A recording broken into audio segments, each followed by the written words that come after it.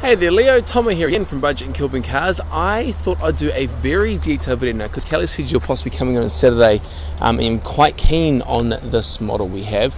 So let's go on a. Now, I did note um, it's got a little bit of fading up here on the headlights, but I'm going to get that sorted out today because we've got the company in at the moment doing um, a few of our other cars to make, sure, make them look all nice and tidy. Um, I did note there's a bit of there's a few little scratches in the back left. Yeah, I thought I saw something there. Nope. We've marked up there on the um, the wing mirror. A couple little fine scratches down here. And a few deeper ones just over here. Mainly over here actually. Is there anything on the back? That looks pretty nice and tidy.